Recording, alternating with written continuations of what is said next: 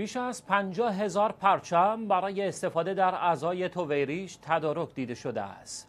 کمیته هماهنگی عزای طویریج از آماده سازی بیش از پنجاه هزار پرچم به منظور استفاده شرکت کنندگان در عزای طویریج خبر داد. به گزارش شیعه ویوز مهدی البحرانی یکی از اعضای این کمیته در این باره گفت این کمیته فعالیت‌های خود را پس از عید غدیر آغاز کرده است. وی افزود پرچم های اعضای توبریج در دوازده ایستگاه در حد فاصله پل السلام تا درب قبله حرم مطهر امام حسین علیه السلام در اختیار عزاداران شرکت کننده در این مراسم قرار خواهد گرفت. قرار است در هر یک از این ایستگاه ها به فراخور حجم جمعیت شرکت کننده سه تا پنج هزار پرچم توزیع شود.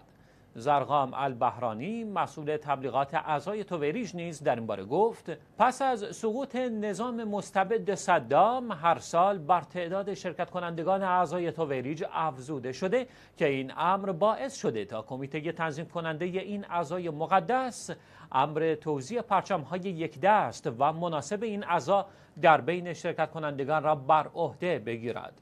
به گفته وی در تهیه این پرچم ها تعدادی زیاد از زنان، مردان، جوانان و کودکان در قالب گروه های گوناگون مردمی از شهرهای مختلف کشور عراق با یکدیگر همکاری کردند.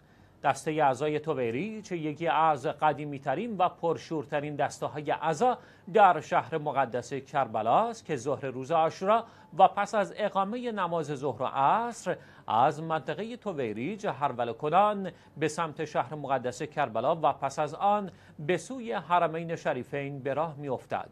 عزاداران سپس با ورود به حرم متحر سید و سالار شهیدان و انجام عزاداری از خیابان بین الحرمین عبور می کنند و با عزاداری در حرم حضرت ابوالفضل العباس علیه السلام این مراسم را به پایان می رسانند.